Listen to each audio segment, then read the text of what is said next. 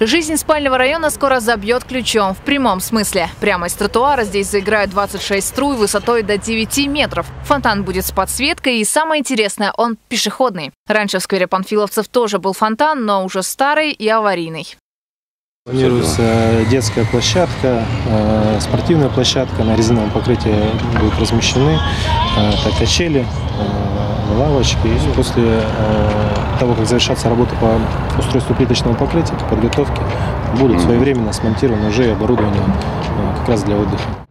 На все работы было выделено 22,5 миллиона рублей из бюджетов разных уровней. Причем жители города сами обратили внимание властей на этот сквер. В рамках проекта формирования комфортной городской среды около 9 тысяч человек проголосовали за то, что скверу необходим ремонт. Под благоустройство попала еще и аллея на Исакова. Кстати, следующее голосование на сайте администрации города запустят в конце октября. Это одно из любимых мест вот наших здесь жителей в микрорайоне, поэтому мы очень ждем, когда наконец реализуются все наши предложения. Долгожданное такое событие мы ждем. Вот каждый раз гуляем, наблюдаем.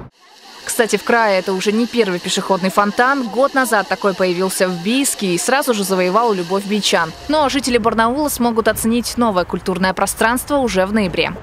Ирина Корчагина, Андрей Печоркин. День с толком.